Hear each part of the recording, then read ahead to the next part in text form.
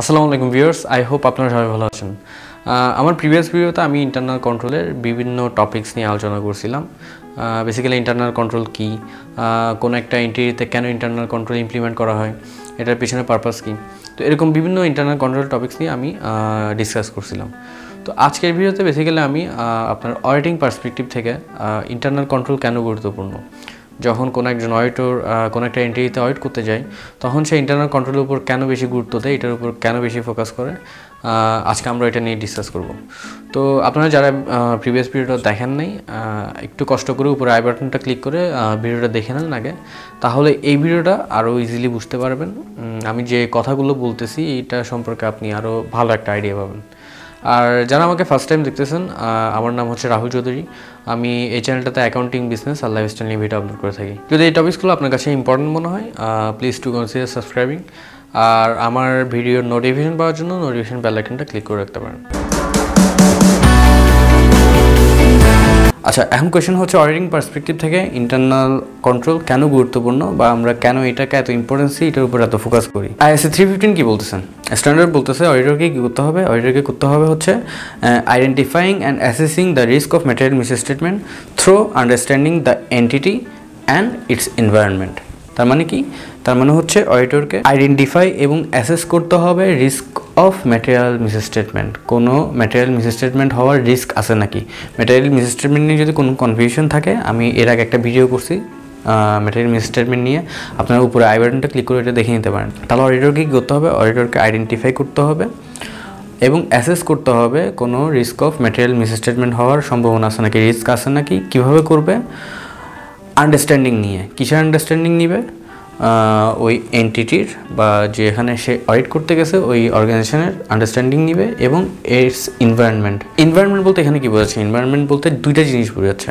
আমরা যে পরিবেশ এনভায়রনমেন্ট বলতে বাইরের পরিবেশ এরকম কিছু না।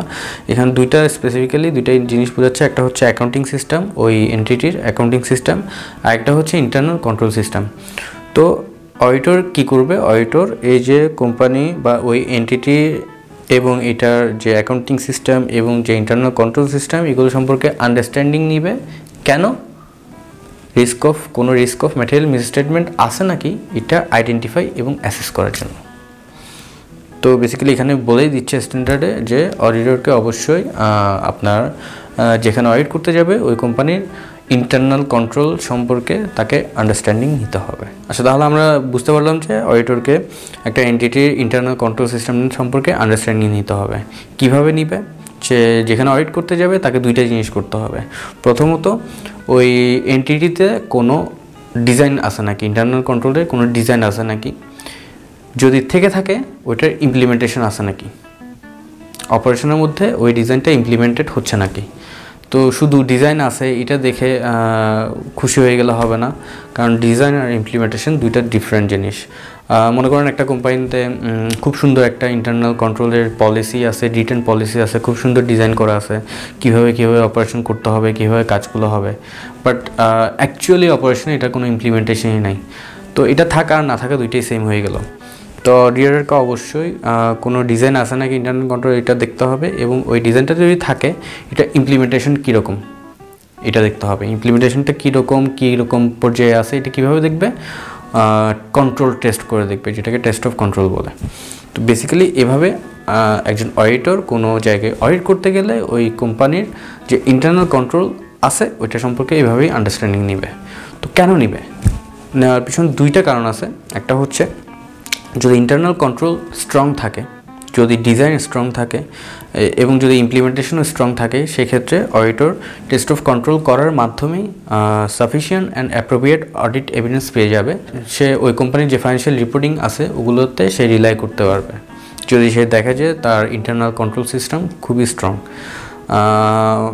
অন দ্য কন্ট্রোরারি যদি এরকম হয় যে ইন্টারনাল কন্ট্রোল দুর্বল উইক সেক্ষেত্রে তাকে ইনডেপথ ওয়ার্ক করতে হবে ইনডেপথ কাজ করতে হবে appropriate and sufficient audit evidence পাওয়ার জন্য। সে শুধু আপনার টেস্ট অফ কন্ট্রোল করে বা কন্ট্রোল চেক করে কোনো কনক্লুশন যেতে পারবে না, তাকে ইনডেপথ কাজ করতে হবে। ইনডেপথ কাজ করার পরেও আপনার রিস্ক অফ ম্যাটেরিয়াল মিসস্টেটমেন্ট থাকার সম্ভাবনা বেশি থেকে যায়। কারণ হচ্ছে আপনার অডিটর তো হান্ড্রেড পার্সেন্ট অডিট প্রসিডিওর করে না, সে বেসিক্যালি স্যাম্পল বেসিসে চেকিং করে চেকিং করে বা আপনার প্রসিডিউর করে এই প্রসিডিউরগুলো করে স্যাম্পল বেসিসে তো সেই ক্ষেত্রে আপনার কন্ট্রোল যদি উইক হয়ে থাকে, তাকে আরও ইনডেপথ কাজ করতে হবে।